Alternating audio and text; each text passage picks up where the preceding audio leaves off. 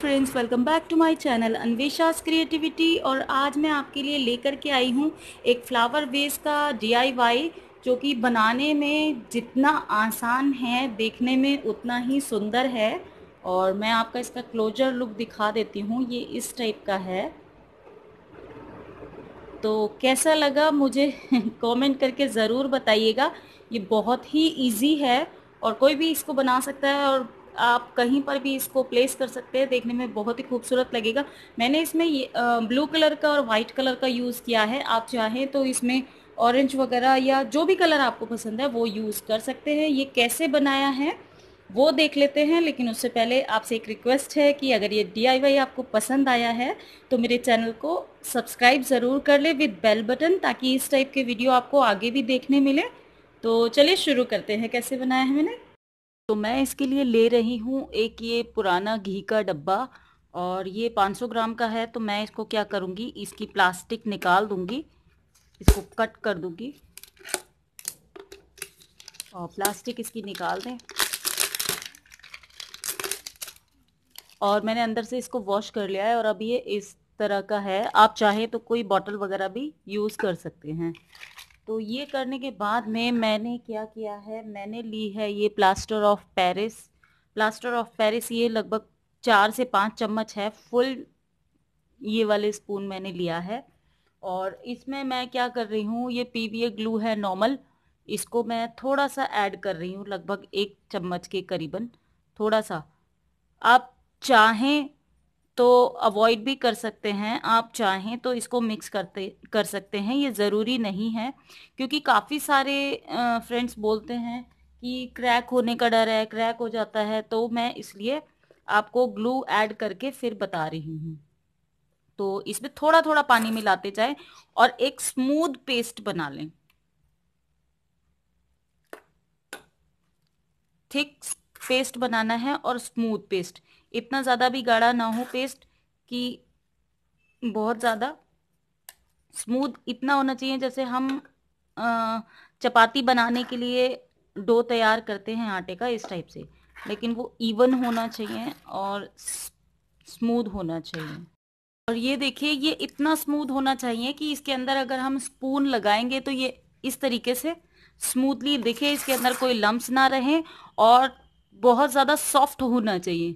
Tight अगर बनाएँगे तो आपका जो वेस है वो टूट जाएगा। ये प्लास्टर ऑफ़ पेरिस जो है वो सूखने के बाद में क्रैक हो जाएगा, इसलिए पेस्ट बनाने का ही सबसे ज़्यादा मेन ध्यान रखना है। तो ये इस तरीके से पेस्ट बनाया, ये देखिए। इस तरीके से कहीं पे भी हम वो करेंगे, सब तरह से ये स्मूथ फिनिशिंग आनी चाहिए हमारे पीओपी में। जब ये ऐसा लगे, तब आप समझ जाइएगा कि पेस्ट तैयार हो गया है। और अब मैं इस पेस्ट को इस बेस के ऊपर स्प्रेड कर लूँगी इवनली कहीं से मोटा और कहीं से पतला ना ना हो, इसको इवनली स्प्रेड कर देना है।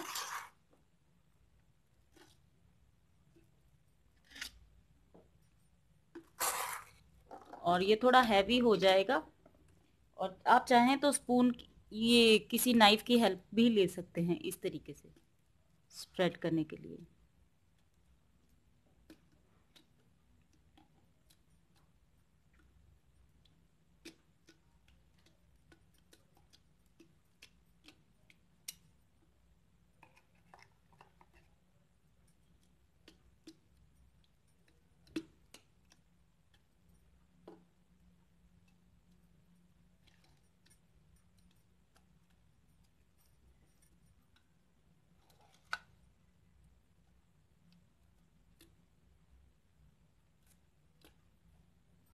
सो ये मैंने इसके ऊपर पूरी पीओपी लगा दी है और इसी नाइफ की हेल्प से मैंने स्प्रेड करके बिल्कुल इवन कर दिया है। और आप देखेंगे कि मैंने काफ़ी मोटी लेयर लगाई है इसके ऊपर, जिसकी वजह से ये वेस्ट जो है वो काफ़ी हैवी हो गया है। और आप जब भी लगाएँगे, आप पूरी मोटी लेयर लगाएँ अच्छे से, क्योंकि अगर आप पतली लेयर लगाते हैं, तभी भी ये पीओपी झड़ने का डर है। लेकिन मैंने ये नीचे के साइड से नहीं लगाई है क्योंकि नीचे के साइड से हम पेंट भी कर देंगे। और अभी ये गीली है और सूखने से पहले पहले मैं क्या कर रही हूँ मैं ले रही हूँ एक फोक और इसमें कर रही हूँ मैं लाइनिंग वो भी सीधी सीधी इस तरीके से।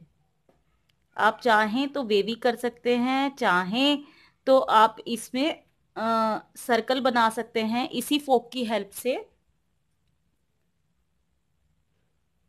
और एक चीज़ और मैं आपको बताऊँगी कि अगर आप आ, ये पीओपी यूज़ नहीं करना चाहते हैं तो आप इसकी जगह जो वॉल केयर पुट्टी जो होती है जो वाइट वॉश करने से पहले पुट्टी का यूज़ करते हैं वो पुट्टी भी यूज़ कर सकते हैं और जो फर्नीचर जब बनता है तो आपने अगर फर्नीचर मार्केट में देखा हो फर्नीचर की फिलिंग जो गैप्स जो होते हैं फिलिंग करते हैं तो वो फर्नीचर मार्केट में भी मिल जाएगी। वो वाली पुट्टी भी आप यूज़ कर सकते हैं। वो भी बहुत सस्ती होती है।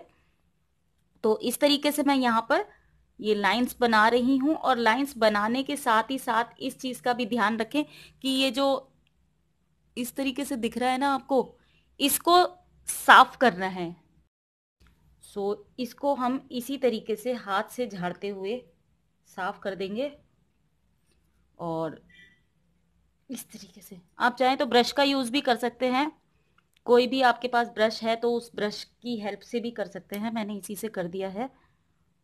और फोक को ज़रूर साफ़ कर लें क्योंकि अगर फोक को साफ़ नहीं करेंगे तो फोक के अंदर के जो आ, ये पीओपी लगी होगी ना उसकी वजह से फिर आपकी इसके जो गैप्स हैं वो अच्छे से नहीं दिखेंगे। और ये जितने गहरे होंगे उतना ही अच्छा लगेगा। इसीलिए हमने मोटी लेयरिंग की थी। मैंने इस तरीके से इसके ऊपर काफ़ी फोक से ये निशान लगा दिए हैं, ये लाइनिंग कर दी है और इसके बाद में मैं इसको सूखने के लिए छोड़ दूँगी 24 घंटे के लिए। 24 घंटे तो नहीं, वैसे तो ये जल्दी सूख जाता है, दो से तीन घंटे में सूख जाएगा, लेकिन मैं तब तक के लिए इसको टच नहीं करूँगी जब तक ये अच्छे से ड्राई नहीं हो जाता। ड्राई होने के बाद में इसका कलर भी चेंज हो जाएगा और बिल्कुल वाइटनेस ही आ जाएगी। तो चलिए अभी सुखाने रखते हैं इसको। देखिए, इसको मैंने 24 फोर आवर्स के लिए छोड़ दिया था। 24 फोर आवर्स तो नहीं, मैंने रात भर के लिए छोड़ दिया था। और अभी ये इस तरीके से दिख रहा है। और ये देखिए, एक चीज़ मैं आपको बताऊँगी, कई लोग बोलते हैं ना कि ये टूट गया है। तो जहाँ पर पतली लेयर होती है पीओपी की तो वहाँ से ये झड़ जाता है। जहाँ पर थिक और मोटी लेयर होगी, वो नहीं झड़ेगी। तो कोशिश कीजिएगा कि मोटी ही लेयर लगानी है आपको। काफ़ी थिक क्वांटिटी में ये मैंने लगभग एक से डेढ़ इंच मोटाई रखी थी इसकी। तो इस तरीके से ये हो गया है तैयार और इसको इस तरीके से हम अब झाड़ लेंगे। और झाड़ने के बाद में ये जो मिट्टी निकली उसको अलग कर देते हैं। और अब मैं ले रही हूँ ये एक्रेलिक कलर ये मैंने ब्लू कलर का लिया है। आप अपने डेकोर के और अपनी पसंद के हिसाब से ले सकते हैं।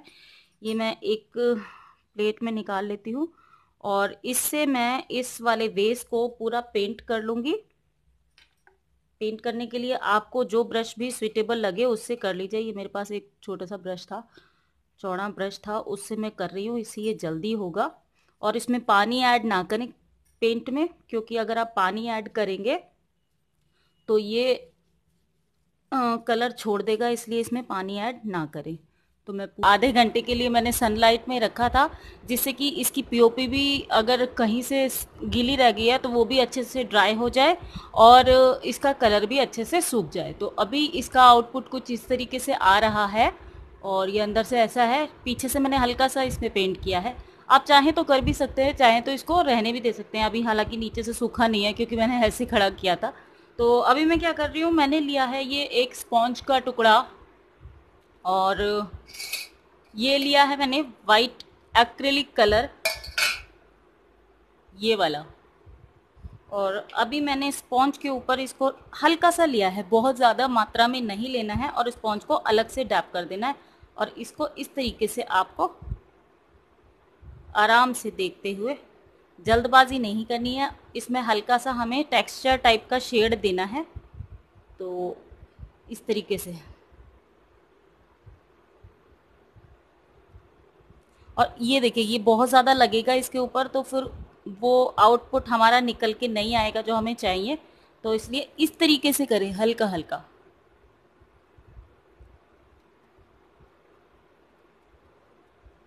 और बार बार लेने की ज़रूरत नहीं है पेंट इसी पेंट को हम कर देंगे जब तक हमारे स्पॉन्ज के अंदर पेंट है।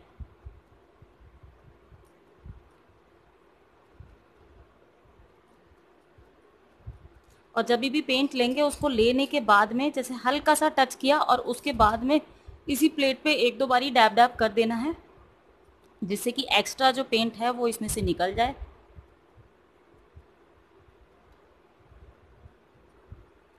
ये टेक्सचर तो अभी मैंने इसमें सब जगह टेक्सचर कर दिया है अपना और करने के बाद में ये कुछ इस तरीके से लग रहा है। अभी ये गीला है। तो मैं इसको ड्राई करने के लिए थोड़ी देर के लिए और रख देती हूँ और पीछे से मैंने इस तरीके से किया है। तो ड्राई करने के बाद में हम इसमें फ्लावर लगाएँगे अपना। ड्राई होने के बाद में ये कुछ इस तरीके से दिख रहा है और मैंने इसमें अपनी फ्लावर्स भी ऐड कर दिए हैं। ये मैंने वाइट और पिंक कलर के फ्लावर्स ऐड किए हैं। आप चाहें तो ऑरेंज येलो किसी भी कलर के फ्लावर लगाएँगे, इसमें बहुत सुंदर लगेगा। और आप चाहे तो इसके अंदर मनी प्लांट भी ग्रो कर सकते हैं। तो ये पानी अंदर भरें इसके अंदर और ऊपर से मनी प्लांट डाल दें इसके अंदर। तो वो भी ग्रो कर सकते हैं, लेकिन प्लास्टिक में चूँकि मनी प्लांट अच्छे से ग्रो नहीं हो पाती, जैसी उसकी ग्रोथ होती है तो वो आपकी इच्छा है, अगर आप शो के लिए कुछ टाइम के लिए घर के अंदर रखना चाहते हैं तो लगा सकते हैं। अदरवाइज़ इस तरीके फेक फ्लावर्स वगैरह लगा सकते हैं। तो ये वीडियो कैसा लगा मुझे कमेंट करके ज़रूर बताइएगा। ये डी अगर आपको पसंद आया है तो इसको लाइक और शेयर करना ना भूलें। मिलती हूँ आपसे अपने अगले वीडियो में। तब तक के लिए बाय